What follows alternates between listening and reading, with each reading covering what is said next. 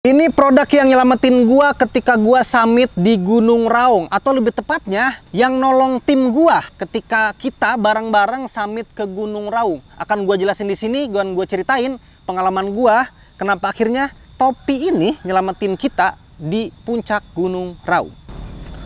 Oh, hai.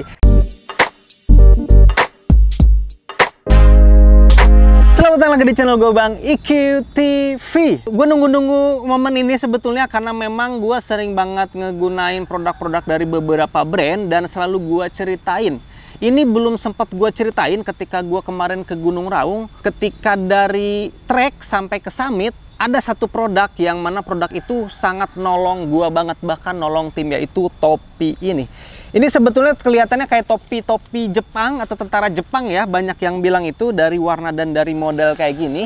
Ini gua pakai sebetulnya awalnya gua pakai hanya untuk summit aja untuk si topi ini. Tapi ketika aktual di lapangannya ini dipakai ketika gua di trek, ini dipakai ketika gua berkegiatan di area camp dan ini dipakai ketika gua berkegiatan atau gua summit ke Gunung Raung ke puncak sejatinya. Jadi topi ini hampir bisa dikatakan berguna di semua kegiatan. Akan gue ceritain satu-satu. Yang pertama, ketika gue ke Gunung Raung itu disarankan ngecamp di camp 7 kan ya. Semuanya harus di camp 7 dan gue tuh sama tim itu telat berangkatnya. Kita berangkat jam 9, harusnya berangkat jam 7 pagi.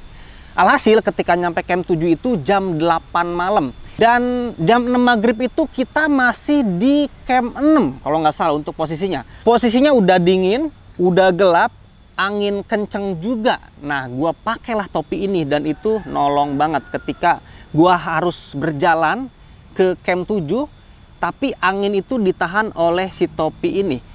Bisa juga lu pakai kupluk sebetulnya, cuman kupluk itu tidak ada penahan kayak topi kayak gini. Ketika nantinya ada ranting-ranting jatuh, itu langsung ke wajah lu. Kalau ini kan memang topi gitu, cuman yang nolong itu ya di bagian sininya.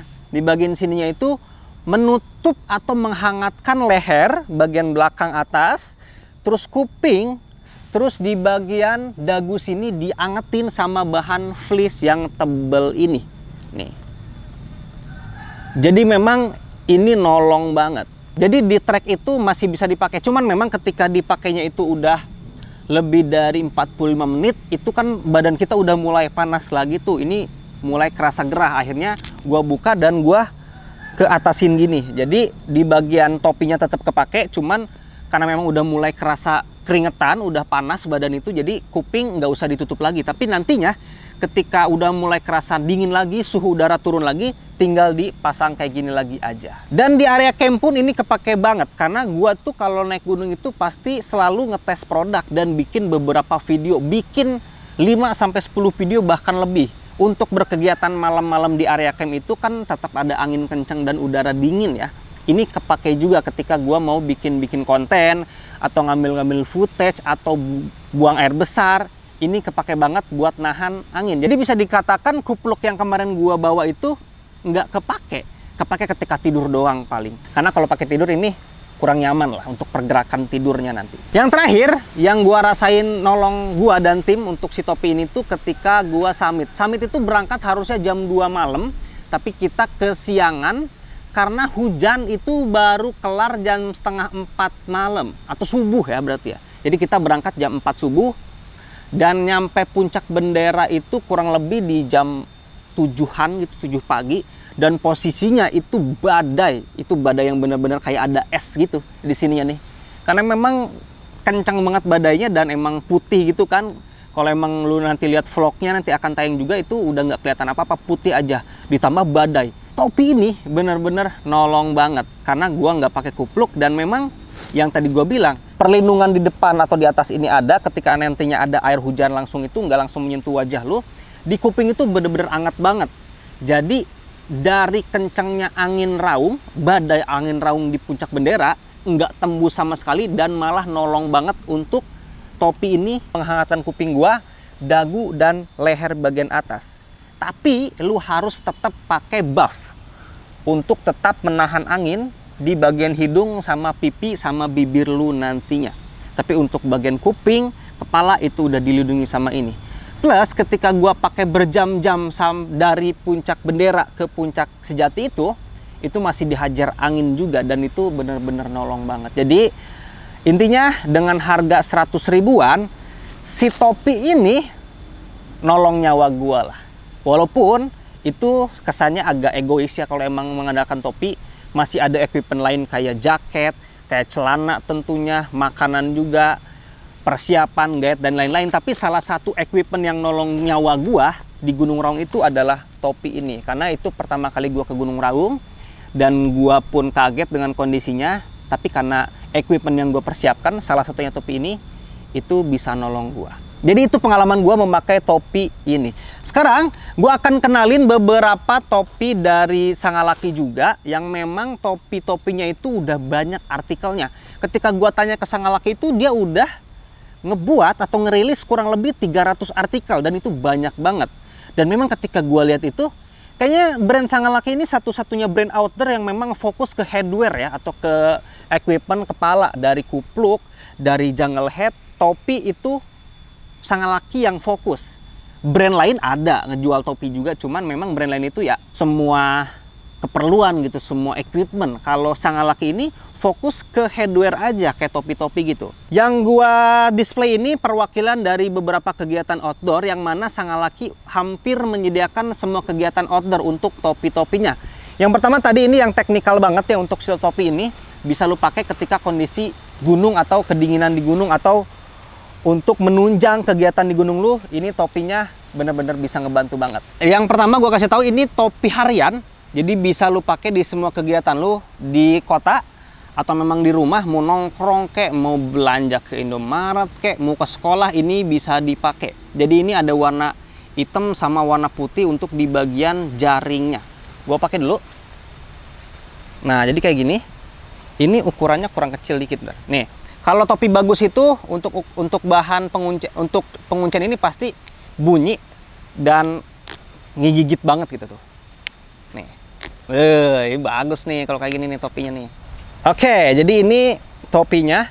Ini ada logo Sangalaki di sini warna merah dan di sini warna putihnya itu lebih dominan di bagian belakang dan semua mesh di sini pakai warna putih, terus di depan itu warna hitam di sini. Ini cocok lu pakai harian dan nongkrong-nongkrong ini bisa banget. Ini topi-topi untuk pekerja sebetulnya ini topi-topi untuk workwear kalau emang lu pernah ngeliat eh, pekerja-pekerja uh, lapangan yang kayak ngebuat kursi-kursi, kayak mebel-mebel gitu, terus kayak pemotongan kayu gitu, kayak ungkat angkut gitu, mungkin di parkir-parkir gitu, ini bisa banget dipakai. Karena memang di bagian sini ada satu slot, di bagian sini ada satu slot untuk penyimpanan pensil atau spidol atau ballpoint. Jadi ketika lo nantinya untuk kerja pakai topi ini menunjang untuk penyimpanan tuh nggak usah takut hilang, disimpan di sini aja. Dan uniknya di bagian depannya ini kayak pakai desain etnik gitu nggak polos warna abu atau hitam aja. Dan ternyata match ya dipadukan dengan warna merah tua atau marun muda nih. Jadi untuk topi ini difungsikan untuk para pekerja sebetulnya. Sama dengan topi yang gua kolaborasi dengan Sangalaki juga. Ini topi yang gua kolaborasi dengan Sangalaki. Ada logo Bang IQTP di sini terus di sini ada tulisan Ohai-nya ini opening gua yang selalu gua sebutkan. Dan sama untuk model topinya sama aja, cuman bahannya di sini pakai bahan kanvas yang memang lebih tebal dan di sini ada slot untuk ballpoint juga atau spidol juga di sini. Untuk belakangnya, untuk penguncian belakangnya sama aja ini pakai bahan-bahan yang bagus banget di sini. Itu topi gua. Terus ada untuk kegiatan selanjutnya, ini untuk kegiatan sepedahan. Jadi ini dibuat lebih ringan untuk bahan yang dipakai di sini dan lebih breathable karena memang di sini biar nggak terlalu gerah. Kalau sepedahan kan pasti keringatnya itu lebih banyak keluar jadi dikasih bahan yang lebih tipis, dikasih bahan yang lebih ringan juga di sini. Gua pakai dulu topinya tuh. Dan di sini bahannya lebih stretch ya kerasanya tuh. Kerasnya lebih stretch di sini. Ini merahnya benar-benar terang banget sih warna merahnya. Beda untuk pengunciannya di sini nggak pakai yang model kayak tadi. Ini pengunciannya beda. Jadi untuk pengunciannya tuh ditekan terus kayak gini nih. Ah, tinggal kayak gini aja. Kayak bakal sebetulnya cuma lebih tipis. Kalau bakal kan tebal. Topi selanjutnya ini topi-topi untuk traveling. Ini lebih ke bucket hat karena memang di sini lebih dibuat lebih fashionable. Untuk bordirannya pun di sini dikasih bunga-bunga gitu dan di sini dikasih ada ornamen-ornamen jahitan di sini untuk jadi nggak terlalu kelihatan monoton untuk si bucket hat ini dan di bagian dalamnya kalau emang lu mau pengen dapetin warna cerah dikasih juga di sini ada dua pilihan warna jadi topi ini bisa lu pakai dengan warna-warna gelap atau bisa lu pakai dengan warna-warna cerah di sini. Warna apa ini? Orange ya warna-warna orange. Akan coba gua pakai untuk bucket hat kayak gini. Ini cocok banget sih untuk traveling traveling sebetulnya. Nah walaupun gue sebenarnya agak kurang pede pakai bucket hat kayak gini kalau ngeliat orang-orang tuh kayak cocok banget. Kalau gue tuh kayak aneh pakainya. Karena kepala gue kecil sih jadi ini bucket hat untuk traveling traveling. Yang terakhir ada jungle hat ini untuk anak-anak gunung wajib banget sebetulnya. Dan beberapa kali gue pegang beberapa jungle hat itu hampir sama aja kelihatannya. Cuman ketika gue pakai bahan yang ada di jungle hat ini kerasa lebih pede untuk dipakai ke mana-mana. Karena bahan yang dipakai di sini tuh tebel ya. Dan kalau kegores-gores ranting itu nggak mudah untuk sobek atau untuk jebol nanti untuk bahan-bahan di sini. Dan di bagian tengah sini ada kayak semacam rajutan gitu tali rajut gitu ya mengelilingi lingkaran kepala gua di sini yang mana di atas si jungle headnya. Dan untuk piringannya di sini ini normal nggak terlalu lebar nggak terlalu pendek juga jadi gue lebih pede pakai topi kayak gini sebetulnya dibandingkan bucket hat kayak tadi. Jadi untuk anak-anak gunung kalau lu butuh jungle hat atau topi rimba ini bagus banget bahannya. Jadi bisa lu pilih untuk si jungle hat dari Sangalaki ini. Tadi hampir lupa jungle hatnya 110.000 untuk bucket hatnya nanti gue cantumin aja kayaknya nggak ke bawah untuk list harganya. Topi sepeda tadi 105.000 untuk topi gua hampir sama lah nanti dicek aja untuk harganya udah gua cantumin untuk link-link pembeliannya dari topi-topi Sangalaki ini di deskripsi video ini. Jadi itu pengalaman gua memakai topi dari Sangalaki yang mana topi ini kemarin gua buat reels doang di Instagram dan yang nonton itu satu juta lebih. Sekarang gua jelasin lebih detail untuk pengalaman gua menggunakan topi ini ketika kemarin di Gunung Raung dan gue kenalin juga dan udah gue kenalin juga topi-topi yang Sangalaki sediakan di beberapa kegiatan outdoor untuk harian, untuk pekerja, untuk sepedahan, untuk traveling, dan untuk ke gunung ini disediakan juga oleh Sangalaki. Kalau lo menemukan satu brand yang memang memutuskan untuk fokus terhadap satu kategori produk ya, kayak Sangalaki ini, biasanya mereka lebih serius dalam memproduksi produk atau dalam ngasih produk ke lu. Jadi inovasinya pun nggak kepecah ke jenis kategori produk lain gitu.